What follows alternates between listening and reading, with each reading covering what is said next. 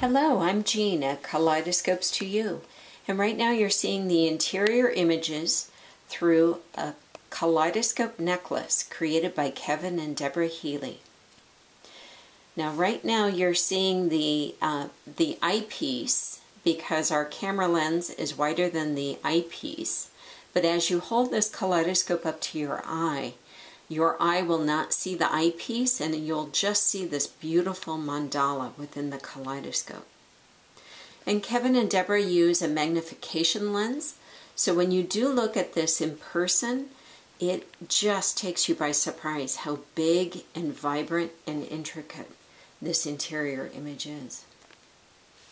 And allow me to show you the tiny and delicate package that all that image is packed within.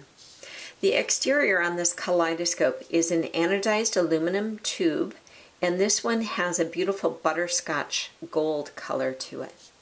The fittings at the object chamber, which is where you can see the tiny pieces of shaved and, shat and uh, slivered dichroic glass, and the eyepiece, which holds the magnification lens, and the collar and the chain are all in sterling silver. Now with the magnification lens, if you wear bifocals or readers, it may seem blurry because of the double magnification. But if you look without readers, you'll see an incredibly large image that really takes you by surprise. The collar here has two dots of the sterling silver, and you can grasp it easily by pressing on those two dots gently, and then you can spin the entire kaleidoscope to turn and change your images. The chain that it comes with is a delicate sterling silver box chain and it has a wonderful lobster claw clasp that's very secure. The length of the chain is a 24 inch.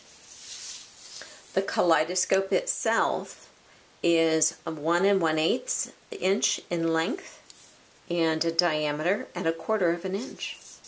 This is an anodized aluminum kaleidoscope necklace created and copyrighted by Deborah and Kevin Healy. And this kaleidoscope necklace is currently available at kaleidoscopes2you.com.